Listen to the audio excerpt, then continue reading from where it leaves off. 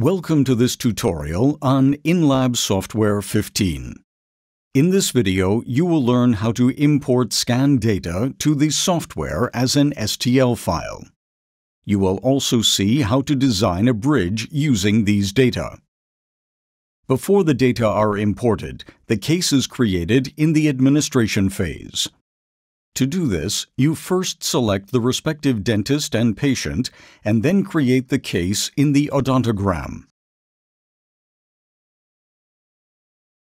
This case is a bridge from 1-3 to 1-7, where 1.3, 1.4, and 1-7 are crowns on abutments and 1-5 and 1-6 are pontics. The MCX5 will be used as the production machine, and the material to be used is zirconium oxide inCoris ZI. Confirm these entries by clicking OK.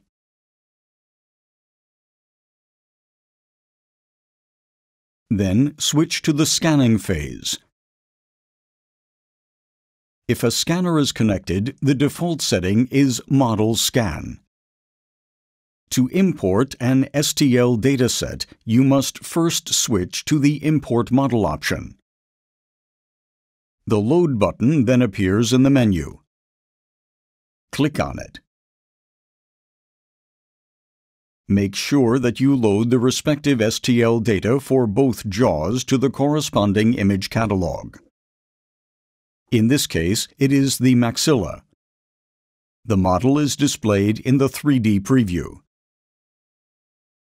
You can now load the STL of the mandible by changing to the image catalog of the mandible.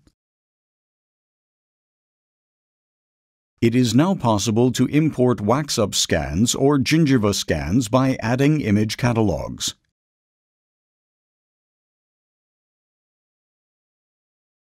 In this case, the data are not available, so we continue and calculate the models. In the Model Axis step, the model is then aligned to the template. Just like scans with the InEOS X5 or InEOS Blue, the midline is first determined and in the next step the occlusion plane is set.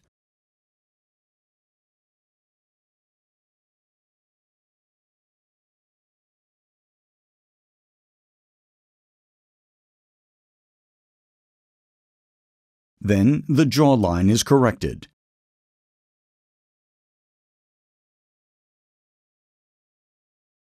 To do this, place the middle blue point between the two central incisors, the second point between the canine and premolars, the third point between the premolars and the molars, and the fourth point further distal as a continuation of the jawline. The same procedure is used for the opposite quadrants. If the tooth numbers are still not in the middle of the preparations, they can be moved there. Like scans using Sirona products, the model is now automatically trimmed and proposals are made for the preparation margins.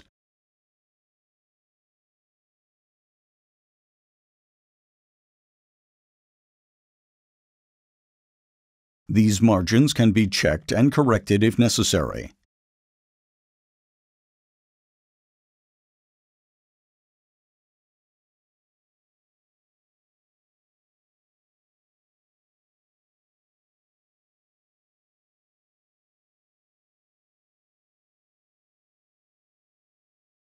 The next step is setting the insertion axis. You can also assess the undercuts based on the color scheme here and correct the insertion axis if necessary. The setting for the line of vision can be used for this. If the insertion axis is correct, click on the next arrow to go to the design phase. The parameters for the restoration can be adjusted individually if necessary. In the Morphology step, you can select the shape of the tooth for the restoration.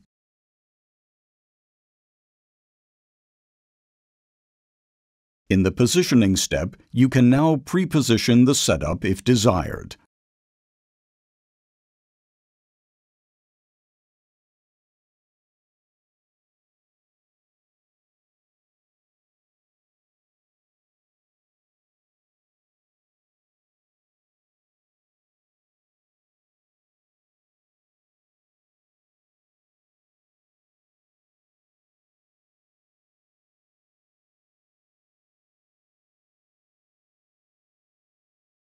In this case, a zirconium oxide framework is to be produced. To do this, the entire bridge is reduced. Set the reduction level using the slider and then click on Apply.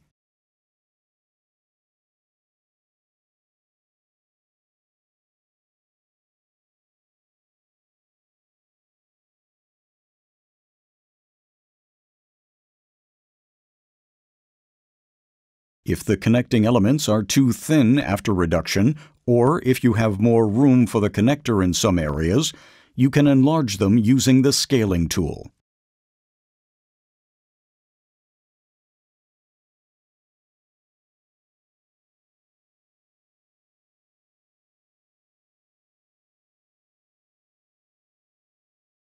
After completing all steps, the production preview is then calculated.